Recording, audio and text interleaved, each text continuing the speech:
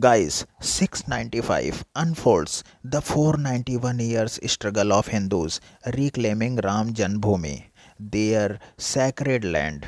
Director Yogesh Bhardwaj with a stellar cast including Govind Namdev and Arun Govil portrays patience, courage and devotions.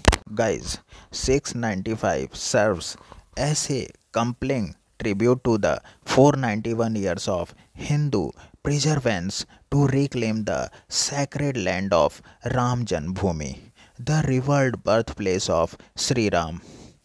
Anchored by a seasoned cast including Govind Namdev, Arun Govil, and Mukesh Tiwari, the film delves into the untold story of patience, courage, valor, sacrifice, and unwearying devotions.